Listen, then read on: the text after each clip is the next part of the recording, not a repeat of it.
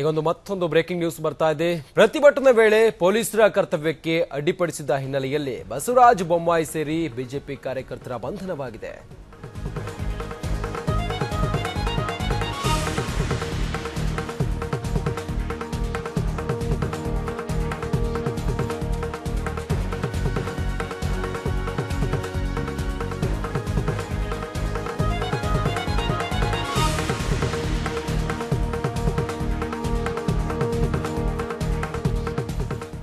ಪ್ರತಿಭಟನೆ ವೇಳೆ ಪೊಲೀಸರ ಕರ್ತವ್ಯಕ್ಕೆ ಅಡ್ಡಿಪಡಿಸಿದ ಹಿನ್ನೆಲೆಯಲ್ಲಿ ಬಸವರಾಜ ಬೊಮ್ಮಾಯಿ ಸೇರಿ ಬಿಜೆಪಿ ಕಾರ್ಯಕರ್ತರ ಬಂಧನವಾಗಿದೆ. ಹಾವೇರಿ ಗ್ರಾಮಾಂತರ ಪೊಲೀಸ್ ಠಾಣೆಯಲ್ಲಿ ಪ್ರಕರಣ ಕೂಡ ದಾಖಲಾಗಿದೆ. ಕಾನೂನು ಸುವ್ಯವಸ್ಥೆ ಹದಗೆಡಿಸಲು ಮುಂದಾಗಿದ್ದ ಆರೋಪದ ಹಿನ್ನೆಲೆಯಲ್ಲಿ ಹದಿನೈದಕ್ಕೂ ಹೆಚ್ಚು ಬಿಜೆಪಿ ಕಾರ್ಯಕರ್ತರನ್ನ ಬಂಧಿಸಿದ್ದಾರೆ ಪೊಲೀಸರು. ಮಧ್ಯರಾತ್ರಿ ಬಂಧಿಸಿ ಗ್ರಾಮೀಣ ಠಾಣೆಗೆ ಪೊಲೀಸರು ಕರೆ ತಂದಿದ್ದಾರೆ. ಪ್ರತಿಭಟನೆ ವೇಳೆ ಅಧಿಕಾರಿಗಳ ಮೇಲೆ ಸಗಣಿ ಎಸೆದಿದ್ರು ಕಾರ್ಯಕರ್ತರು ಈ ಸಂಬಂಧವಾಗಿ ಅವರನ್ನು ನಿನ್ನೆ ರಾತ್ರಿಯೇ ಪೊಲೀಸರು ಬಂಧಿಸಿದ್ದಾರೆ.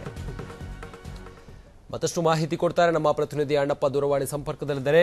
ಅಣ್ಣಪ್ಪ, ಬಸವರಾಜ್ ಬೊಮ್ಮಾಯಿ ಸೇರಿ ಯಾರನ್ನೆಲ್ಲ ಈಗ ಪೊಲೀಸರು ಬಂಧಿಸಿದ್ದಾರೆ ಅಣ್ಣಪ್ಪ? ರಂಜಿತ್, ನಿನ್ನೆ ಏನು ಫಸಲ್ ಬಿಮಾ ಯೋಜನೆಯನ್ನ ರಾಜ್ಯ ಸರ್ಕಾರ ಏನು ವಿತರಣೆ ಮಾಡಲು ಹಿಂದೆ ಹಿಂದೇಟ್ ಮಾಡಿದೆ ಅಂತ ಹೇಳಿ ಏನ್ ಬಿಜೆಪಿ ಕಾರ್ಯಕರ್ತರು ಜಿಲ್ಲಾಧಿಕಾರಿ ಕಚೇರಿ ಮುಂದೆ ಪ್ರತಿಭಟನೆ ನಡೆಸ್ತಾ ಇದ್ರು. ಈ ವೇಳೆ ಕಾನೂನು ಸುವ್ಯವಸ್ಥೆಗೆ ಅಡ್ಡಿಪಡಿಸಿದ್ರು.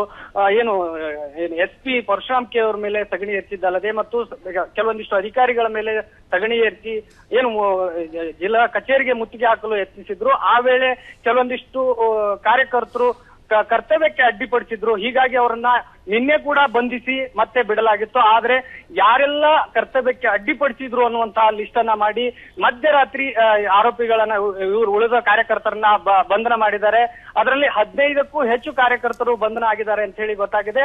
ಇವರ ಮೇಲೆಲ್ಲ ಕೇಸ್ ದಾಖಲಾಗಿದೆ. ಕೇಸಲ್ಲಿ ಜಿಲ್ಲಾಧ್ಯಕ್ಷ, ಬಿಜೆಪಿ ಜಿಲ್ಲಾಧ್ಯಕ್ಷ ಶಿವರಾಜ್ ಸಜ್ಜನ್ ಸಜ್ಜನ್ ಸೇರಿದಂತೆ ಮಾಜಿ ಬಸವರಾಜ್ ಬೊಮ್ಮಾಯಿ ಅವರ ಹೆಸರು ಕೂಡ ಇದೆ ಅನ್ನುವಂತಹದ್ದು ಪೊಲೀಸ್ ಮೂಲಗಳಿಂದ ಬಂದಿರುವಂತಹ ಮಾಹಿತಿ. ಈಗ ಏನು ಬಂಧಿತ ಕಾರ್ಯಕರ್ತರೆಲ್ಲರೂ ಜಿಲ್ಲಾಸ್ಪತ್ರೆಯಲ್ಲಿ ಜಿಲ್ಲಾ ಆಸ್ಪತ್ರೆಯಲ್ಲಿ ಏನು ಪೊಲೀಸ್ ಫಾರ್ಮಾಲಿಟಿ ಚಿಕಿತ್ಸೆ ನೀಡುತ್ತಾ ಇದ್ದಾರೆ. ಜೊತೆಗೆ ಏನ್ ಕರ್ತವ್ಯಕ್ಕೆ ಕಾನೂನು ಸುವ್ಯವಸ್ಥೆಯನ್ನ ಅಡ್ಡಿಪಡಿಸಲು ಬಂದಿದ್ರು, ಇವರೆಲ್ಲರ ಮೇಲೆ ಸೂಕ್ತ ಕ್ರಮ ತೆಗೆದುಕೊಳ್ಳಲು ಜಿಲ್ಲಾಡಳಿತ ಮುಂದಾಗಿದೆ ರಂಜಿತ್. ಓಕೆ ಅಣ್ಣಪ್ಪ, ಧನ್ಯವಾದ ಮಾಹಿತಿಗಾಗಿ.